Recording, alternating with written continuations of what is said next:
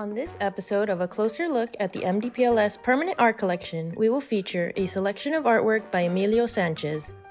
Closer Look is a video series dedicated to highlighting the library's permanent art collection that began in 1970. Emilio Sanchez is a Cuban American artist born in Camagüey, Cuba, in 1921.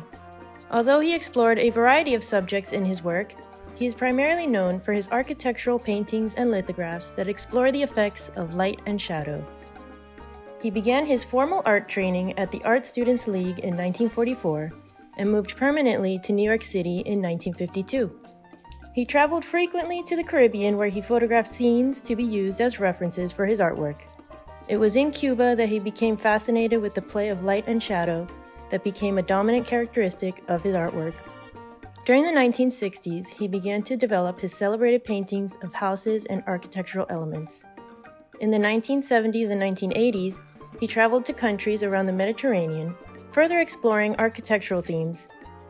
Later in his life, he suffered from vision problems but continued to paint until his death in 1999.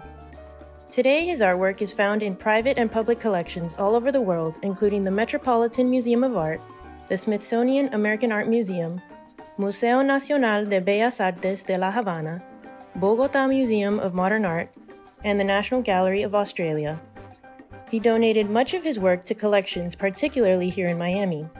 He is well represented in the Miami Dade Public Library System's permanent art collection and donated over 120 of his drawings, sketches, notes, and photographs. Over the years, MDPLS has held several exhibitions of his work, and his pieces are installed throughout our many library branches. His trademark tropical scenes present a joyful expression of light and color that everyone enjoys. In 2021, he became the first Cuban American visual artist to be featured on a series of Forever stamps released by the U.S. Postal Service.